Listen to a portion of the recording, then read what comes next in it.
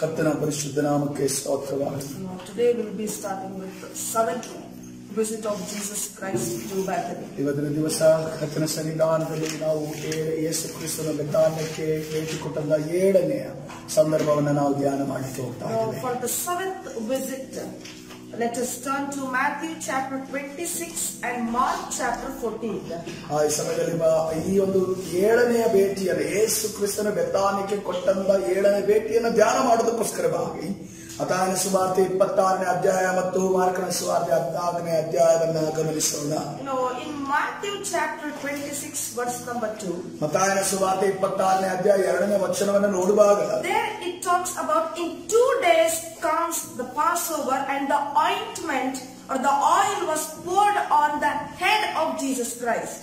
ಪಸ್ಕ ಹಬ್ಬದ ಹಿಂದೆ ಎರಡು ದಿವಸಗಳ ಎರಡು ಎರ- ಎರಡು ದಿವಸಗಳಿರುವಾಗ ಪಸ್ಕ ಹಬ್ಬಕ್ಕೆ ಎರಡು ದಿವಸಗಳಿರುವಾಗ ಆತನ ತಲೆಯ ಮೇಲೆ ಯೇಸು ಕ್ರಿಸ್ತನ ತಲೆಯ ಮೇಲೆ ಒಂದು ತೈಲವನ್ನ ಸುರಿಯಲ್ಪಡೆದು ಅಭಿಷೇಕಿಸಲ್ಪಟ್ಟಿತ್ತೆಂದು ನಾವು ನೋಡ್ತಾ ಇದ್ದೇವೆ. Let's read at 26 verse ಈ ಸಮಯದಲ್ಲಿ ಮತ್ತಾಯನ ಸುವಾರ್ತೆ ಇಪ್ಪತ್ತಾರನೇ ಅಧ್ಯಾಯ ಎರಡನೇ ವಚನವನ್ನ ಓದಿಕೊಳ್ಳೋಣ. You know that the Passover is two days away, and the Son of Man will be handed over to be crucified. ಎರಡು ದಿವಸಗಳಾದ ಮೇಲೆ ಪಸ್ಕ ಹಬ್ಬ ಬರುತ್ತದೆಂದು ಬಲ್ಲಿರಿ.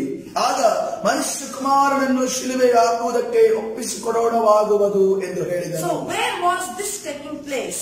ಇದು ಎಲ್ಲಿ ಈ ಒಂದು ಸಂದರ್ಭ ಹೇಳಿದಂತ ಸಂದರ್ಭ ಎಲ್ಲಿ ನಡೀತಾ ಇದೆ No, it is given in Mark chapter 14, verses from 1 to 9. ಇದು ಮಾರ್ಕನ ಸುವಾರ್ತೆ ಹದಿನಾಲ್ಕನೇ ಅಧ್ಯಾಯ ಒಂದರಿಂದ ಒಂಬತ್ತನೇ ವಚನಗಳಲ್ಲಿ ಸವಿವರವಾಗಿ ಆ ಸಂದರ್ಭವನ್ನು ಕೊಡಲ್ಪಟ್ಟಿದೆ let's read for our reference only verse number 3. ಈ ಸಮಯದಲ್ಲಿ ನಮ್ಮ ಒಂದು ಅಂಡರ್ಸ್ಟ್ಯಾಂಡ್ ನಮ್ಮ ಅರ್ಥ ಮಾಡಿದಕ್ಕೋಸ್ಕರವಾಗಿ ನಾವು ಮೂರನೇ ವಚನವನ್ನ ಮಾರ್ಕನ ಸುವಾರ್ತೆ ಹದಿನಾಲ್ಕನೇ ಅಧ್ಯಾಯ ಮೂರನೇ ವಚನವನ್ನ ಓದಿಕೊಳ್ಳೋಣ While Jesus was in Bethany, reclining at the table in the home of Simon the leper, a woman came with an alabaster jar of expensive perfume made of pure nard. She broke open the jar and poured it on the head of Jesus. ಮಾರ್ಕನ ಸುವಾರ್ತೆ ಹದಿನಾಲ್ಕನೇ ಅಧ್ಯಾಯ ಮೂರನೇ ವಚನ ಆತನ ಬೆತ್ತಾನ್ಯದಲ್ಲಿ ಕುಷ್ಠರೋಗಿಯಾದ ಸಿಮೋನನ ಮನೆಯಲ್ಲಿ ಇದ್ದು ಊಟಕ್ಕೆ ಕೂತಿದ್ದಾಗ ಒಬ್ಬ ಸ್ತ್ರೀಯು ಬಹು ಬೆಲೆಯುಳ್ಳ ಅಚ್ಚ ಜಡಮಾಂಸಿ ತೈಲದ ಭರಣಿಯನ್ನು ತೆಗೆದುಕೊಂಡು ಬಂದು ಆ ಭರಣಿಯನ್ನು ಒಡೆದು ತೈಲವನ್ನು ಆತನ ತಲೆಯ ಮೇಲೆ ಹೊಯ್ದಳು you know this is happening just when it was just two days away from Passover ಆ ಪಸ್ಕ ಹಬ್ಬಕ್ಕೆ ಎರಡು ದಿವಸಗಳು ಇರುವ ಸಂದರ್ಭದಲ್ಲಿ ನಡೆದಂತ ಘಟನೆ ಇದಾಗಿದೆ. This time it was his head was anointed his head was anointed ಆತನ ಆತನ ತಲೆ ಈ ಒಂದು ಸಂದರ್ಭದಲ್ಲಿ ಆತನ ತಲೆ ಅಭಿಷೇಕಕ್ಕೆ ಸಲ್ಪಟ್ಟಿದೆ ಎಂದು ನಾವು ನೋಡ್ತಾ ಇದ್ದೇವೆ. John chapter twelve verse number one ನೀವು ಯೋಹರ್ನ ಸುವಾರ್ತೆ ಹನ್ನೆರಡನೇ ಅಧ್ಯಾಯ ಒಂದನೇ ವಚನವನ್ನು ನೋಡುವಾಗ we read the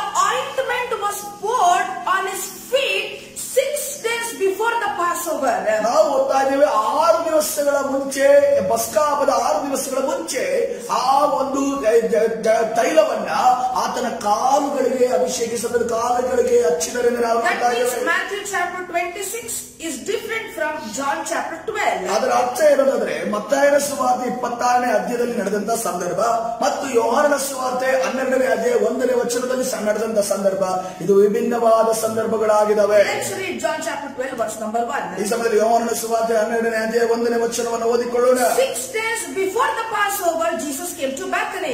ಆ ಪಸ್ಕ ಹಬ್ಬವು ಇನ್ನೂ ಆರು ದಿವಸ ಮುಂದೆ ಇರಲಾಗಿ ಯೇಸು ಬೆತಾನ್ಯಕ್ಕೆ ಬಂದನು So this proves that the visit were on two different occasions. ಈ ಒಂದು ಭೇಟಿಗಳು ಆದಂತ ಬೆತಾನ್ಯಕ್ಕೆ ಆತನ ಕೊಟ್ಟಂತ ಭೇಟಿಗಳು ಇದು ಬೇರೆ ಬೇರೆ ಆಗಿದವೆ ಎರಡು ಸಾರಿ ಆಗಿದವೆ ಅನ್ನೋದನ್ನ ನಮಗೆ ತಿಳಿಸುತ್ತದೆ today we are going to to meditate on Matthew chapter 26 verse number 2.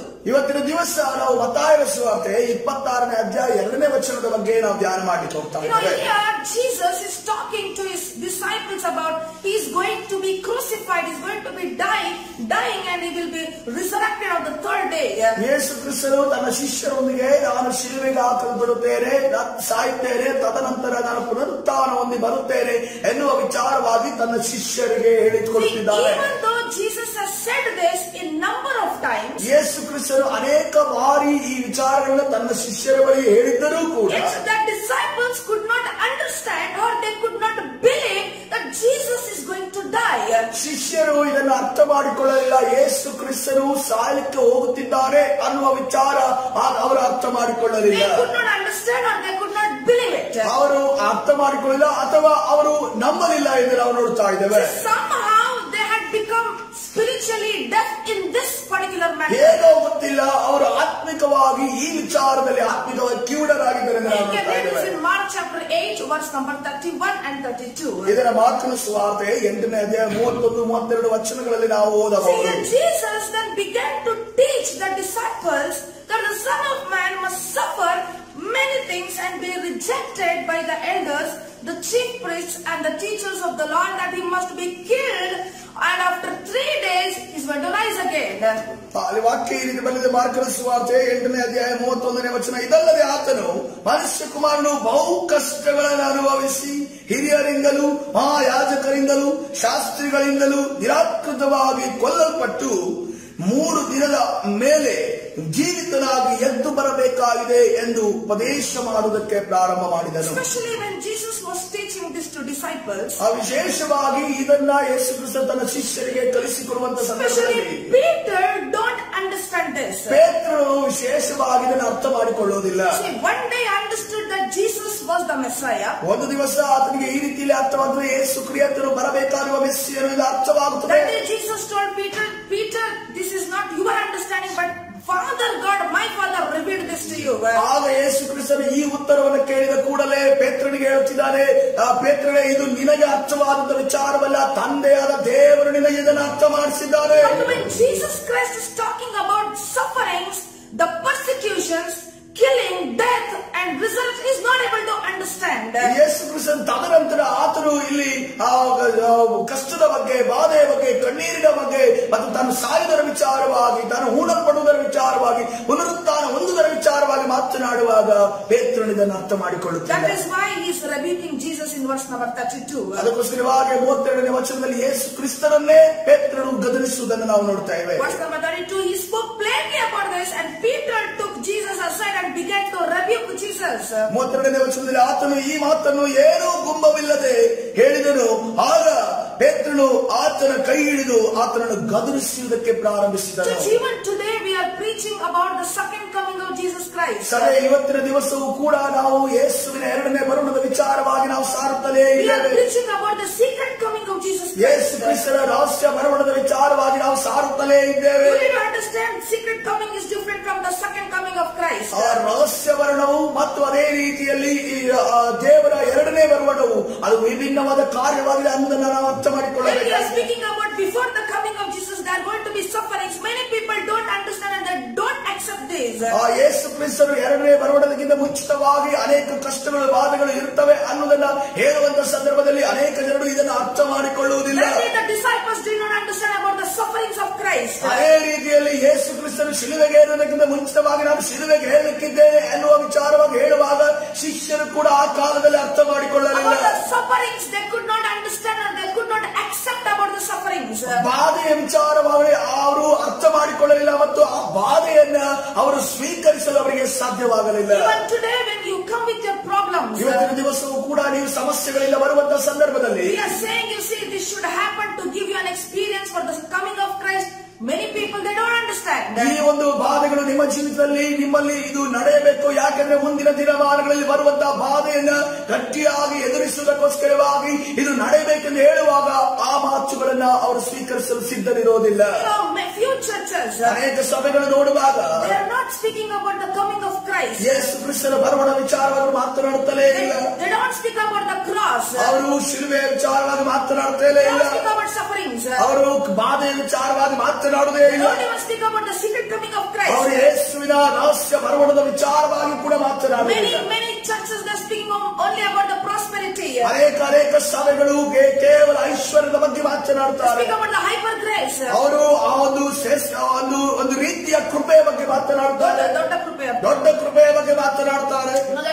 The word of God. ಅದು ದೇವರ ವಾಕ್ಯದ ವಿರುದ್ಧವಾಗಿದೆ Bible talks about grace. ಸತ್ಯವೇದ ವಿಚಾರವಾಗಿ ಸತ್ಯವೇದದಲ್ಲಿ ಕೃಪೆಯ ಬಗ್ಗೆ ಮಾತನಾಡಲ್ಪಟ್ಟಿದೆ doesn't speak about the hyper grace. ಆದರೆ ಯಾವುದೇ ಕಾರಣಕ್ಕೂ ದೊಡ್ಡ ಕೃಪೆಯ ಬಗ್ಗೆ ಮಾತನಾಡಲ್ಪಟ್ಟಿದೆ the right understanding of timings in this last days is very important for every believer. ಈ ಕಡೆಯ ಕಾಲದಲ್ಲಿ ಸಮಯದ ವಿಚಾರವಾಗಿ ಅರ್ಥ ಮಾಡುಕೆ ನಮ್ಮಲ್ಲಿ ಇರಬೇಕಾದದು ಬಹಳ ವಿಶ್ವಾಸಗಳೇ ಬಹಳ ಪ್ರಾಮುಖ್ಯವಾದದ್ದು See, God sent COVID, this whole ದೇವರು ಈ ಲೋಕಕ್ಕೆ ಆತನು ಕಾಯುವದನ್ನು ಕರೆಿಸುತ್ತಿ ನಾನು ನೋಡತಾ ಇದ್ದೇವೆ. हेलो ಪ್ರಕಟಣೆಯಲ್ಲಿ ಬರೆಯಲ್ಪಟ್ಟಿದೆ. ನ ಆವಿನ ಎಷ್ಟು ಜನರು ಇದನ್ನು ಅಪ್ಡೇಟ್ ಮಾಡಿಕೊಂಡಿದ್ದಾರೆ. ದೇವರು ಈ ಲೋಕದಲ್ಲಿ ಸಮಸ್ತ ಲೋಕದಲ್ಲಿ ದೇವರು ಮಾತನಾಡುತ್ತಿದ್ದಾರೆ. Now my coming all this thing ನಡೆಯಬೇಕಾಗಿದೆ ಅನ್ನುದನೇ ಇರುತ್ತಿದ್ದಾರೆ.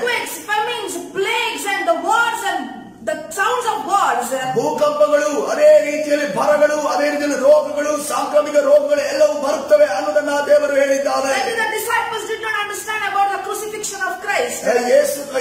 ಆತನ ಆತನ ಶಿಷ್ಯರು ಆತನ ಶಿಲುಬೆಗೇರುವ ವಿಚಾರವಾಗಿ ಅರ್ಥ ಮಾಡಿಕೊಳ್ಳಲಿಲ್ಲ ಎಂದು ನಾವು Bible ನೋಡ್ತಾ says ಇದ್ದೇವೆ they did not understand, especially Peter also did not understand this. ಆ, ವಿಶೇಷವಾಗಿ ಆ ಶಿಷ್ಯರು ಕೂಡ ಅರ್ಥ ಮಾಡಿಕೊಳ್ಳಿಲ್ಲ ವಿಶೇಷವಾಗಿ ಪೇತ್ರನು ಕೂಡ ಇದನ್ನು ಅರ್ಥ ಮಾಡಿಕೊಳ್ಳಲಿಲ್ಲ. ಸಭೆ ಒಂದನ್ನು ನಾವು ನೆನಪಿನಲ್ಲಿ ಇಟ್ಟುಕೊಳ್ಳಬೇಕು. ನಾವು ಕಡೆಯ ದಿವಸಗಳಲ್ಲಿ ಅಂತ್ಯಕಾಲದಲ್ಲಿ ಜೀವಿಸ್ತಾ. ದೇವರ ವಾಕ್ಯದ ಒಂದು ಸರಿಯಾದ ರೀತಿಯ ಅರ್ಥ ಮಾಡುವಿಕೆ ನಮಗೆ ಇರಬೇಕಾಗಿದೆ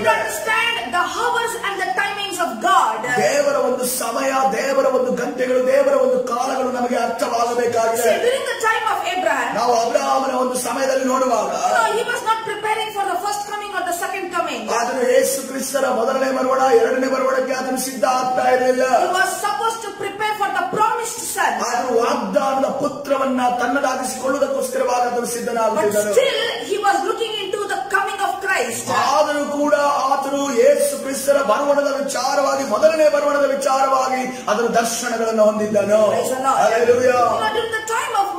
ಮೋಶೆಯ ದಿನಮಾನದಲ್ಲಿ ನೋಡುವಾಗ Israelites and Moses, they were prepared to reach or come into the promised land. ಇಸ್ರೇಲರು ಮತ್ತು ಮೋಶೆ ಅವರು ಆ ವಾಗ್ದಾನದ ದೇಶಕ್ಕೆ ಬರುವುದಕ್ಕೋಸ್ಕರವಾಗಿ ಸಿದ್ಧವಾಗುತ್ತಿದ್ದರು Those who did not believe, those who became disobedient, they died in the wilderness. ಯಾರ್ಯಾರು ಅದನ್ನ ನಂಬಲಿಲ್ವೋ ಯಾರ್ಯಾರು ಕರೆ ದೇವರಿಗೆ ತಕ್ಕ ಹಾಗೆ ಅವಿಧೇಯರಾದರು ಅವರು ಕಾಡೆ ಆ ಒಂದು ಅರಣ್ಯದಲ್ಲಿ ಸತ್ತು ಹೋದರೆ ನಾವು ನೋಡ್ತಾ ಇದ್ದೇವೆ few died by the biting of the poisonous snake. ಕೆಲವು ಜನರು ಆ ಒಂದು ವಿಷಪೂರಿತವಾದ ಹಾವುಗಳವರು ಕಚ್ಚುವುದರಿಂದ ಸತ್ತು ಹೋದರು.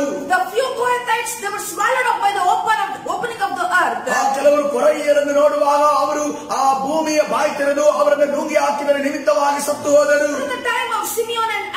ಆ ಹಾಸಿಯೋರು ಮತ್ತು ಅನ್ನಗಳು ಅನ್ನ ಅವರು ಇರುವಂತ ಕಾಲಮಾನದಲ್ಲಿ no they prepare for first coming of Christ ಅವರು ಯೇಸುಕ್ರಿಸ್ತನ ಮೊದಲನೇ ಮೊದಲನೆಯ ಬರ нулеಯಕ್ಕೋಸ್ಕರವಾಗಿದೆ ಸಿದ್ಧವಾಗುತ್ತಿದ್ದರು they get prepare for the crucifixion of Christ and resurrection of Christ ಅವರು ಯೇಸುಕ್ರಿಸ್ತನ ಶಿಲುಬೆ ಯೇಸುನ ವಿಚಾರವಾಗಿ ಅದ ನಂತರ 부ನತನ ಒಂದು ವಿಚಾರವಾಗಿ ಸಿದ್ಧವಾಗುತ್ತಿದ್ದರು. ಆ ಹೈ ಪ್ರಿಸ್ಟ್ ಆ ಎಲ್ಲ ಮಹಾಯಾಜಕರು ಆ ಒಬ್ಬ ಮಹಾಯಾಜಕರು ನೋ ಹೈ ಪ್ರಿಸ್ಟ್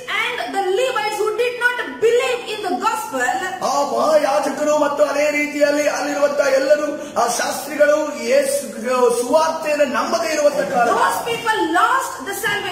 ಅವರು ರಕ್ಷಣೆಯನ್ನು ಕಳೆದುಕೊಂಡರಿಂದ ನಾವು ನೋಡ್ತಾ ಇದ್ದೇವೆ. ಈಗ ನಾವು ಈ ಸಮಯದಲ್ಲಿ ಇದ್ದೇವೆ ಫಾರ್ ದ to ಕ್ರೈಸ್ಟ್. ನಾವು ಯೇಸು ಕ್ರಿಸ್ತನ ಎರಡನೇ ಬರುವಣಕ್ಕೋಸ್ಕರವಾಗಿ ನಾವು ಸಿದ್ಧವಾಗಬೇಕಾಗಿದೆ don't ನಾವು ನಂಬದೆ ಹೋಗಿ ಅದೇ ರೀತಿಯಲ್ಲಿ ಅರ್ಥ ಮಾಡದೆ ಹೋಗದೆ ಹೋದರೆ you become ignorant of the timings, ನಾವು ಸಮಯದ ವಿಚಾರವಾಗಿ ನಿರ್ಲಕ್ಷ್ಯವನ್ನು ತೋರುವುದಾದರೆ ದೇವರ ಸಮಯಕ್ಕೆ ನಾವು ನಿರ್ಲಕ್ಷ್ಯವನ್ನು ತೋರುವುದಾದರೆ